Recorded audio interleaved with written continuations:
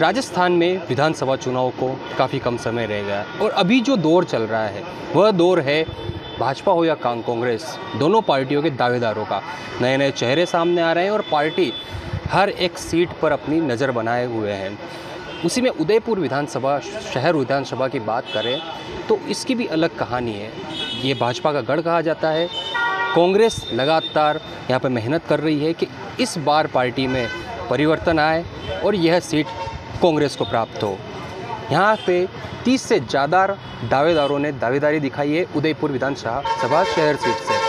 हमारे साथ में कांग्रेस के पार्टी के नेता हैं, उनसे बात करेंगे और जानेंगे कि इस बार क्या स्थिति है, किस तरह से चुनाव लड़ रहे हैं आपसे जानेंगे। आपने दावेदारी भी की है। ये हम बात करें राजीव जी सोहलका से, जिन्होंने कांग्रेस प्रत्याशी के रूप में दावेदारी भी की है उदयपुर विधानसभा शहर सीट से। क्या तैयारी है आपकी?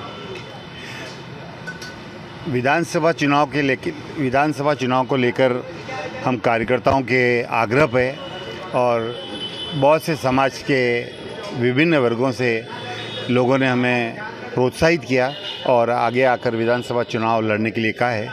इसी के संदर्भ में मैंने अपने कार्यकर्ताओं के साथ चुनाव लड़ने की मंशा की है। और हमने बूथ स्तर तक जाकर हमारे कार्यकर्ताओं को तैयार किया है। और हमारा मेन फोकस चुनाव लड़ने में जो राजस्थान में मुख्यमंत्री ने मुख्यमंत्री जी ने जो कल्याणकारी योजनाएँ दी है हम उन योजनाओं को लेकर जनता के पास जाएँगे। हम जनता के विकास के लिए जनता की सुविधाओं को लेकर इन सभी चीज़ों को लेकर हम चुनाव में जाएँगे। दावेदार तो तीस से ज़्यादा है। ज़्यादा होने का ये कारण है कि कांग्रेस कार्यकर्ता में उत्साह है। और इस बार सबको लग रहा है कि इस बार जीतेंगे तो कार्यकर्ता देख रहे हैं कि इस बार हमें भी मौका मिले। बरसों से आम कार्यकर्ताओं को मौका नहीं मिला है। किसी और को मिलेगा तो? कांग्रेस जिसको टिकट देगी उनके साथ हम तन मन से लगेंगे। लेकिन बाहरी कांग्रेसी को हमारा आम कार्यकर्ता स्वीकार करने में असमर्थ है। बाहरी में कौन है यार? बाहरी में अब मैं नाम तो नहीं लेता हूँ कुछ ऐसे बाहरी को नाम सुन रहे हैं लेकिन सार्वजनिक तौर पे कहना है बता दूँ चर्चाओं में राष्ट्रीय प्रवक्ता गौरव वल्लभ है और एक दिनेश जी खोड़निया जो डूंगरपुर के जिला अध्यक्ष रहे हैं वो दोनों बाहरी। हो सकता है ये लोग उम्मीदवार हों लेकिन ये लोग जहाँ के हैं वहाँ हो तो ज़्यादा उचित है। और उदयपुर की आम जनता भी चाहेगी कि हमारा उम्मीदवार यहीं का हो ताकि उनके सुख दुख दर्द में उनके सामने जा सके सुबह शाम कभी भी मिल सके। और बाहरी करता बाहरी उम्मीदवार आखिर बाहरी होता है। नहीं उदयपुर की अगर बात करें तो भाजपा को भी लें तो बाहरी आए जैसे कटारिया जी वो भी बाहर से आए उन्होंने यहाँ पर राज किया लंबे टाइम तक। नहीं कटारिया जी बहुत मतलब समझिए आप कि उनकी स्कूलिंग से लेके उनके छात्र जीवन से लेके वो उदयपुर से थे। निवास स्थान उनका? निवास उनका उदयपुर था उनकी पैदाइश पली देलवाड़ा की थी लेकिन उन्होंने अपना सारा जीवन उदयपुर में गुजारा उदयपुर की सेवा में गुजारा इसके लिए हम नकार नहीं सकते अच्छा आप बताइए यहाँ पर काफ़ी विरोध भी चल रहा है। अभी शनिवार को ही आपके निरीक्षक आए तो उनके सामने झड़प जैसी स्थिति भी बन गई। ऐसी स्थिति नहीं, ऐसी कोई बात नहीं थी। छोटी सी बात थी, समझने में फेर हो गया था। और वो कुछ लोग थे, बाकी हमारे जो 200 250 लोग, रणजीत सवालका के लिए जाए आए थे, और उन्होंने को लगा कि ये थोड़ा तो उन्होंने कोई ऐसी बात कह दी होगी तो कुछ हमारे कार्यकर्ताओं से झड़प हो गई कोई उसके वीडियो आए थे काफ़ी गर्मा दो, दो, दो, दो मिनट की बात थी वो एक डेढ़ मिनट की बात थी कुछ नहीं था ऐसा कोई वो एक डेढ़ मिनट की बात भी ऐसी थी कि पार्टी को नुकसान पहुँचाने वाली है क्या गुटबाजी नज़र आ गई। उसके बाद सबने साथ हो गए थे और कोई सबने साथ मिलकर नारे लगाए कांग्रेस आई जिंदाबाद सबने अशोक गहलोत जिंदाबाद के नारे लगाए और वो सब संगठन के हित में बात अच्छा करना आप क्या कहते हैं बाहरी जो भी प्रत्याशी है वो आना चाहिए या शहर वाले को ही मौका देना उदयपुर शहर में काफ़ी सालों से लोग काम कर रहे हैं उनकी इच्छा है कि भाई उदयपुर के किसी भी जनप्रतिनिधि का मौका मिले और उदयपुर के प्रत्याशी होगा तो हंड्रेड परसेंट जीतेंगे। बाहरी के लिए भी अगर कांग्रेस कार्यकर्ता तन मन से भी लगेगा, लेकिन बहुत मुश्किल रहेगा जीतना, क्योंकि बारी बारी होता है और लोगों का जोश उसके लिए नहीं, जितना लोकल के लिए होगा, वो उनके लिए नहीं हो पाएगा। अच्छा लोकल, आप बोल रहे लोकल होगा तो जीत सकता है तो इतने सालों से लोकल ही आ रहे हैं, वो क्यों नहीं जीत पाए? नहीं उनके पीछे भी आप मतलब कैंडिडेट चॉइस में थोड़ा फ़र्क रहा हाईकमांड का कि अगर वो केंद्रीय गृह मंत्री केंद्रीय मंत्री गिरजा व्यास जी। उस समय वो स्वस्थ नहीं थी ये किसी ने देखा नहीं वो चल नहीं पा रही थी लेकिन उनको हाईकमान ने टिकट दिया। तक सबसे कम वोटों से हार का उनके नाम में मतलब अब कुछ चुनाव को देखिए तो। नहीं वो जीती भी एक हज़ार से तो वो अच्छी हमारे राष्ट्रीय नेता तो ही है वो तो इसलिए कम वोट से लेकिन आज की डेट में वो उस समय भी स्वस्थ नहीं थी आज भी स्वस्थ नहीं है। आप बताइए, क्या लगता है आपको कांग्रेस उदयपुर विधानसभा क्षेत्र में चार साल, चार विधानसभा क्षेत्र से हारती जा रही है?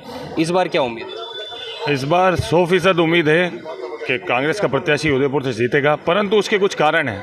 अगर उदयपुर शहर में कांग्रेस के प्रत्याशी को विजयी पताका फहराना है और कांग्रेस का प्रत्याशी जीते तो उसके लिए यहाँ के क्षेत्रीय व्यक्ति को प्रायोरिटी देनी पड़ेगी।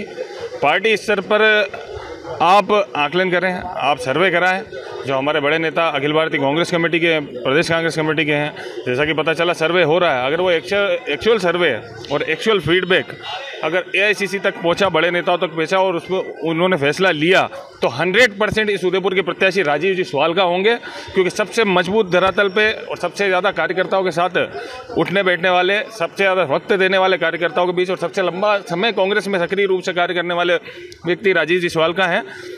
सन 1980 से राजीव जी सवाल का काफ़ी तीस से ज़्यादा दावेदार हैं। वो भी सब भी कार्यकर्ता ही है। अपने आप को कार्यकर्ता बता रहे दिनेश श्रीमाली हो या फिर कोई भी हो बता रहे हैं हम लंबे समय से कांग्रेस के लिए काम कर रहे हैं। तो वो भी एक तरह से कांग्रेस की ही है। एक्चुअली उदयपुर की जो स्थिति आप विधानसभा की स्थिति देखेंगे तो उसमें जाति वोट बैंक और दूसरे बहुत सारे आधार बनते हैं। अगर उन सारे आधारों को आप कैलकुलेट करेंगे और कांग्रेस पार्टी में अपनी सक्रियता की बात करेंगे तो राजीव जी सवाल का 1980 से कांग्रेस पार्टी के लिए काम कर रहे हैं। तिरासी में मेरा जन्म हुआ, मैं नेता प्रतिपक्ष रहा, पार्षद रहा। मेरी जैसी एक जनरेशन को प्रभावित करने वाले व्यक्ति हैं राजीव जी सवाल का। तो इतना लंबा समय देने के बाद आज वो मैदान में है, वो चाहते हैं कि जनसेवा करें, लोगों के लिए काम करें। तो इसलिए पूरी टीम, समस्त लोग मिल के और मांग रहे हैं। और दूसरे जिन प्रत्याशियों की आप बात कर रहे हैं कि जो जो प्रत्याशी बनना चाहते हैं, जिन्होंने उम्मीदवारी दर्ज करी तो उसमें कुछ पार्षद हैं, कुछ छोटे मोटे अग्रिम संगठनों के, सबकी एक इच्छा होती है कि हम भी विधानसभा के लिए पार्टिसिपेट करें। आज मेरा भी मन था, अगर राजीव जी नहीं करते तो मैं भी अपना आवेदन देता। क्योंकि मुझे पता है, कम से कम अखबार में नाम छपेगा। लोग मेरे समाज के मुझसे पूछेंगे कि मोहसिन खान ने भी दावेदारी करी विधानसभा प्रत्याशी के रूप में? अब ऐसे ऐसे करीबन करीबन मैं बोलता हूँ कि अट्ठाईस लोग ऐसे हैं दावेदारी करने वाले हैं जो सिर्फ़ इसलिए कि अखबार में हमारा नाम छपेगा छपेगा और समाज में हमारा प्रेजेंटेशन होगा कि हम विधानसभा के लिए अप्लाई कर रहे हैं। तो वो सभी लोग भी हमारे ही हैं। तो सभी मिलजुल के और राजीव जी सवालका के पक्ष में काम करेंगे। अगर प्रत्याशी बनाया गया उदयपुर शहर से तो हंड्रेड परसेंट हम कोशिश करके और विजय पताका फहराएँगे इस शहर में। धन्यवाद। अच्छा आप वरिष्ठ इतिहास की बात करें तो सुखाड़िया जी यहाँ पर तीन बार तक से लगातार विधायक रहे। उस टाइम कांग्रेस मज़बूत स्थिति में थी। उनके जाने के बाद में 11 चुनाव हो गए। दो बार सिर्फ़ कांग्रेस जीत पाई है त्रिलोक जी पूर्विया और केंद्रीय केंद्रीय मंत्री गिरजा व्यास जी। ऐसा क्या हुआ? आपको क्या लगता है? आप तो काफ़ी लंबे टाइम से कांग्रेस को उन्होंने कार्यकर्ताओं को नहीं संभाला। कैसे मतलब? उन- उनके काम नहीं हुए। विकास करा। सरकार ने करा बाकी कार्यकर्ताओं को रिस्पॉन्स नहीं दिया उन्होंने। कैसे आप एग्ज़ाम्पल तौर बताइए कि क्या हुआ ऐसा कि उन्नीस के बाद में पूरी परिवर्तन आ गया? स्थानीय नेता लोगों से ऐसे कागज़ से गिरे रहते थे जो कार्यकर्ता नहीं पहुँच पाते थे। मतलब कांग्रेस ने साथ नहीं दिया वहाँ नहीं, साथ साथ साथ साथ नहीं। अगर वो देते तो पूरा बदल जाए आप यूथ है आप बताइए। एक यूथ के तौर पर आप किस तरह से पार्टी को देखते हैं उदयपुर को? उदयपुर शहर विधानसभा से। यूथ के तौर पे देखता हूँ पार्टी को कि मतलब एक बड़े से बड़ा नेता के पास अगर यूथ पहुँच पाना बहुत मुश्किल हो रहा है। आज उदयपुर में मैंने देखा है कि अभी हमारे बीच में से, हम कार्यकर्ताओं बीच में से हमारे जिलाध्यक्ष जी जो फतेह सिंह जी राठौड़ है वो हमारे कार्यकर्ताओं के बीच में निकल के गए कोई परिवारवाद से वो निकल के नहीं गए वो एक ज़मीन लेवल से कार्यकर्ता जो जो नाम है पार्षद रहे ब्लॉक अध्यक्ष रहे वहाँ से आज उठ के और जिलाध्यक्ष गए तो हमें भी एक आज जगी है। और हमने हमारे एक हमारे बीच में से कार्यकर्ता को निकाला है जो राजीव जी सुवाल का है जो एन एस टाइम से छात्र राजनीति यहाँ किसी एक व्यक्ति की बात नहीं हो रही पूरे पार्टी की बात हो रही। तो पार्टी के बारे में बताइए आप। तो पार्टी के बारे में देखो हम ये विचार कर सकते हैं कांग्रेस किसी को भी टिकट दे ठीक है? हम उनके साथ में हैं काम करेंगे उनका। पर यह है कि हम, मैं जैसे यूथ का हूँ, मैं एक बूथ लेवल का कार्यकर्ता हूँ, मैं छोटा कार्य किसी पद पर नहीं हूँ अभी, ठीक है? मैं चाहता हूँ कि मैं हमारे जो भी लोकल एमएलए बने उनके लिए हम लोकल के लिए मान्यता रखेंगे। प्रायोरिटी हम फ़र्स्ट लोकल के देंगे क्योंकि आज बूथ लेवल का कार्यकर्ता एमएलए तक मिल पाना मुश्किल हो रहा है। क्यों? उसके बाद पहले जो थे उनके पास तक हम नहीं पहुँच पाते थे। उसका कारण यह था कि पहले बड़े बड़े लोग उनके साथ जुड़े हुए रहते थे। एक कार्यकर्ता आम कार्यकर्ता मान सम्मान नहीं मिलता है। आज मैं देख रहा हूँ कि जिलाध्यक्ष बनने के बाद में फतेह सिंह जी के बाद में एक हमें हाँ, मान सम्मान मिल रहा है। हमने अभी उनके जिलाध्यक्ष बनने के बाद दस प्रोग्राम में हमने अटेंड करे तो हमें एक जोश आया जुनून आया तो मैं एक बूथ का कार्यकर्ता निकल बूथ कार्यकर्ताओं तक भी पहुँच रही है अब अब कांग्रेस पहुँच रही है। और उस को- उस कांग्रेस के पहुँचने का कारण ही है कि एक मज़बूत पर जड़ मिली हमें। बाकी इससे पहले मज़बूत जड़ नहीं थी। कार्यकर्ता मान सम्मान नहीं था। पहले ये था जो पदाधिकारी था और बाहरी बाहरी बाहरी व्यक्तियों के लिए क्या कहना मैं बाहरी व्यक्तियों के लिए यही कहना चाहता हूँ आप आपके जिस जगह के आप हो विधानसभा वहाँ पर तैयारी करो। आप वहाँ पर अच्छी पेड़ से जीतोगे। बाकी आप यहाँ उदयपुर में आके और बाहरी कहना में नहीं जीत सकता है।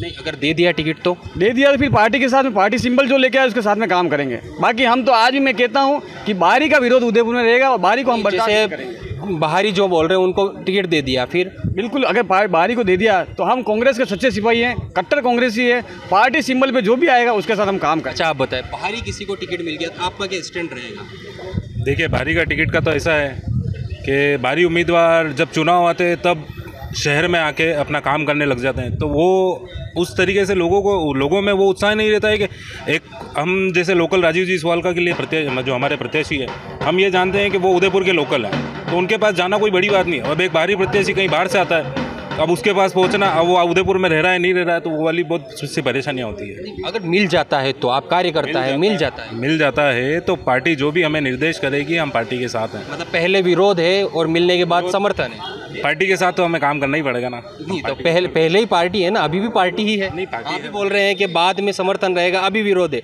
तो अभी क्यों समर्थन अभी यूँ है कि अभी हर नेता का अलग अलग नाम है कार्यकर्ता समर्थक होता है। ठीक है उस समर्थक के हिसाब से पार्टी अलग अलग है नहीं पार्टी एक ही है। पार्टी हमारी कांग्रेस पार्टी हमारी माँ है वो एक ही है। पर जैसे परिवार के अंदर भी मतलब जैसे उसके अलग अलग बेटे होते हैं उनके अलग अलग पुत्र होते हैं उसी हिसाब से अभी हम एक बेटा आईएएस बन गया तो बाकी बेटा कोई मतलब नहीं। नहीं वो नहीं है। अलग अलग जैसे देखो चार बेटे होते हैं एक डॉक्टर की तैयारी करता है एक इंजीनियरिंग करता है एक वकालत करता है तो अलग अलग उनका होता है। पर जब कभी परिवार का मुखिया कहता है कि बेटे चारों बेटे एक साथ आ जाओ हमें प्रोग्राम करना है तो उसके लिए परिवार का मुखिया का मानना हमें ज़रूरी है और हमारा मुखिया कांग्रेस है हम उस सिंबल पर चलते हैं। हम किसी यूँ नहीं है कि मतलब कि एक नेता के दम पे हो जाएँगे नहीं। हमारा सिंबल कांग्रेस है हमारे बीच में लड़ाई नहीं है। आप बताइए। सर ऐसा है, आप बाहरी की जो बात कर रहे हैं, जैसे हम लोग सब अलग अलग वार्डों से बूथ से आते हैं तो हम लोग क्या करते हैं, जनता का जो मूड है, वो भी हम देख के आते हैं, लेके आते हैं। हम केवल कांग्रेस के कार्यकर्ता नहीं, हम पूरे जनता के बीच में से आते हैं। तो उनका भी एक नज़रिया होता है ना, अपने को केवल कांग्रेस और पार्टी और कार्यकर्ता का नज़रिया नहीं, हम लोग जनता से आते हैं। जनता का ये नज़रिया होता है कि यार बाहर से आ रहा आदमी हमारे लिए रहे, रहेगा, रुकेगा, कब यहाँ रहेगा, कब दिल्ली मतलब जहाँ भी रहेंगे वो। तो जनता का ये मूड होता है कि यार अपने बीच का आदमी हो, केवल कार्यकर्ताओं की बात नहीं है। ये जनता की बात है कि अपने बीच का आदमी होगा तो वो हमारे साथ हमेशा सहयोग से खड़ा बाहरी नेता अभी विरोध है ही आपका भी हो गई है कि बाहरी नेता नहीं होना चाहिए। मिल गया तो? मिल गया तो पार्टी के लिए काम करेंगे। पार्टी के लिए हाँ पार्टी के लिए काम करेंगे लेकिन यदि यहाँ के लोकल जो राजीव जी सवाल का है जो छत्तीस कौमों के साथ रहते हैं सब जगह एक व्यक्ति की बात नहीं हो रही है। हम राजीव पार्टी हम हम राजीव सवालका के समर्थक हैं। हम राजीव सवालका के लिए बात करेंगे। ओबीसी का वोट बैंक यहाँ पे सबसे ज़्यादा है। ओबीसी एसटी एससी माइनॉरिटी ब्राह्मण समाज और जितने भी जैन समाज वो सभी समाज के लोग राजीव सवालका के साथ है क्योंकि यहाँ के लोकल प्रत्याशी है। और इनको नहीं मिला टिकट तो? इनको हम प्रयास कर रहे हैं टिकट दिलाने के लिए प्रयास मान ले मिल गया तो आप उनके साथ हो। नहीं मिला तो फिर क्या करेंगे पार्टी के साथ हैं हम। क्योंकि दोनों भाग होते हैं हेड या टेल हम्म। अगर मिल गया तो अच्छी बात है आप साथ रहेंगे। नहीं मिला तो लेकिन हम बाहरी प्रत्याशी बिल्कुल बर्दाश्त नहीं करेंगे। बाहरी प्रत्याशी को अगर मिल गया तो? बाहरी प्रत्याशी को मिल गया तो करेंगे इसमें कुछ वो नहीं है। लेकिन पहली प्राथमिकता हमारे बाहरी प्रत्याशी नहीं होना चाहिए, उदयपुर का लोकल प्रत्याशी होना चाहिए, मात्र एक ही व्यक्ति, मैं राजीव जी सवालका का समर्थक, और जितने भी आप यहाँ पर देख रहे हो, कहीं पे भी चाय की थड़ी पर भी जाकर के पूछोगे, कहीं पे भी पूछोगे, राजीव सवालका अभी एक नंबर पे, सबसे पहले एक नंबर के प्रत्याशी उदयपुर के चल रहे हैं। तो ये जाना आपने सभी कार्यकर्ताओं से बात की, पदाधिकारियों से बात की, सभी का एक ही कहना है, बाहरी प्रत्याशियों को कतई बर्दाश्त नहीं किया जाएगा, लेकिन ये भी है कि बाद में समर्थन दिया जाएगा। एबीपी न्यूज़ से विपिन सोलंकी, उदयपुर। thank